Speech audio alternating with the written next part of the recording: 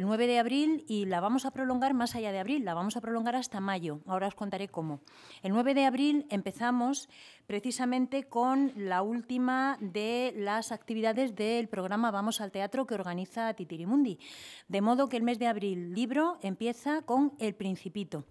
El Principito es el libro, como sabéis, traducido a tantísimas lenguas, que tanto significa y que es una forma, yo creo que excelente, de que comencemos precisamente eh, este mes. Por primera vez vamos a hacer una noche del libro. Vamos a hacer una ruta por la ciudad, una ruta ciudadana, de lectura, espontánea, viva, que homenajee al libro y a los artífices del libro. Los artífices de un libro son sus escritores, pero también son sus lectores.